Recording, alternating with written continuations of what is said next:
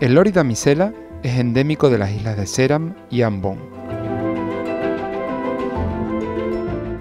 Consumen polen, néctar, frutas e insectos. Pertenecen a los loris de gran tamaño, llegan a pesar hasta 230 gramos. La parte superior de la cabeza es de color negro y en su cuerpo predomina el color rojo con una fina banda amarilla en el pecho. Sus poblaciones están en peligro de extinción y es un ave que escasamente se reproduce en centros zoológicos. Gracias a estos últimos, se conocen los primeros datos de cría que hasta el momento eran desconocidos en la naturaleza.